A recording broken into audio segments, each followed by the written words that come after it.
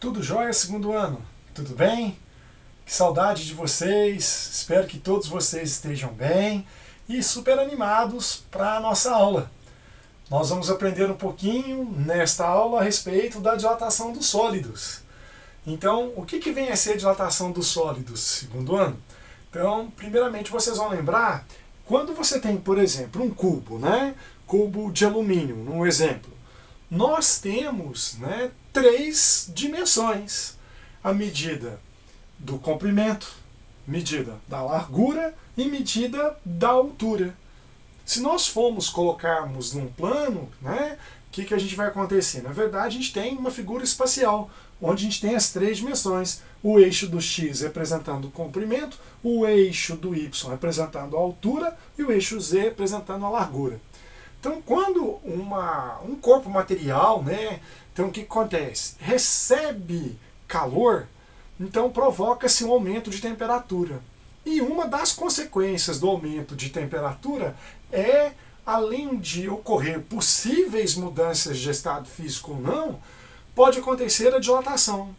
No caso dos sólidos, por exemplo, os metais, por apresentarem elevados pontos de fusão e de ebulição, então, por exemplo, se você tem uma barra metálica né, de alumínio a 10 graus Celsius e eleva essa temperatura dela, por exemplo, para 30 graus Celsius, ela não vai mudar de estado físico, porque o ponto de fusão é muito elevado. Mas o fato de elevar a temperatura de 10 graus Celsius para 30 faz com que essa barra metálica, os átomos no interior dela colidam muito mais, permitindo o alongamento de uma das suas dimensões.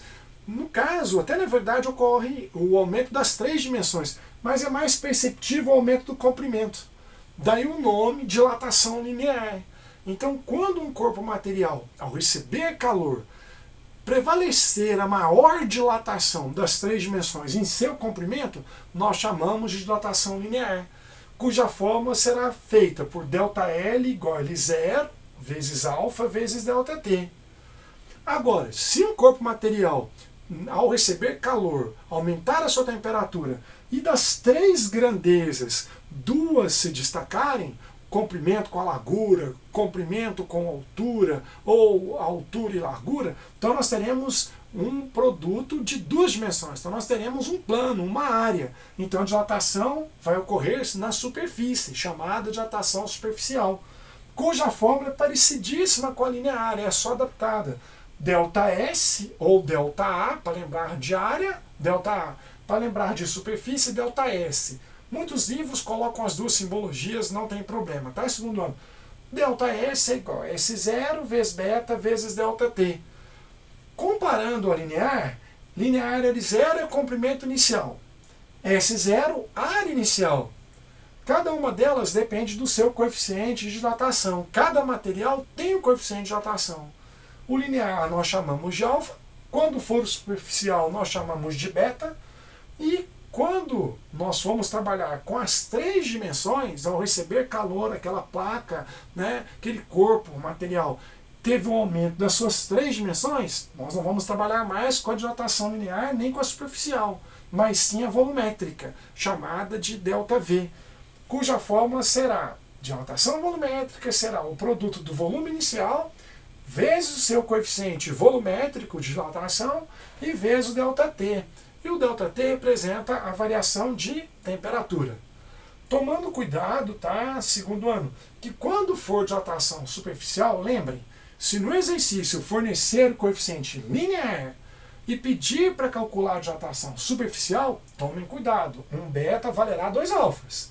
Agora, se formos calcular a dilatação volumétrica de um material e se no exercício tivermos a dilatação, o coeficiente linear, cuidado que um gama valerá 3 alfas, será necessário multiplicar por 3, tá?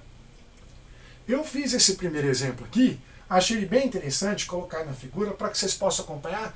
É bem legal o cálculo da dilatação. Vejam, uma barra de alumínio possui 200 milímetros de comprimento a 10 graus Celsius de temperatura. Então repare na figura que eu coloquei aqui, ó, 200 milímetros e o comprimento inicial, coloquei a representação da barra de alumínio e aqui está a 10 graus Celsius de temperatura. O que aconteceu? Uma fonte térmica né, forneceu calor a essa barra e ela, ao receber calor, ela se dilatou, aumentou a temperatura.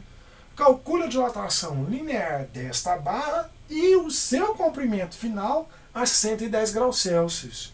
Então reparem que a 10 graus Celsius essa barra tinha 200 milímetros de comprimento. Só que ao receber calor, a temperatura foi até 110 graus Celsius, a barra dilatou, ela aumentou um pouquinho. Vamos calcular esse aumento e a sua medida final. Reparem, na fórmula da dilatação linear, porque foi pedido o aumento do comprimento, L0 vezes alfa vezes ΔT. Ou seja, comprimento inicial vezes coeficiente de dilatação vezes variação de temperatura. Aí nós teremos então comprimento inicial 200 vezes o coeficiente do material, que é um valor tabelado. Olha lá, segundo ano ele vem no exercício. Dados, coeficiente do AL, quer dizer, coeficiente de dilatação do alumínio, 22 vezes 10 a menos 6, vezes a variação de temperatura, o ΔT. Como estava com a temperatura inicial de 10 e foi até 110 graus Celsius, nosso ΔT pegará temperatura final 110 menos a inicial de 10 graus Celsius. Então agora nós vamos fazer 200 vezes 22, 4.400.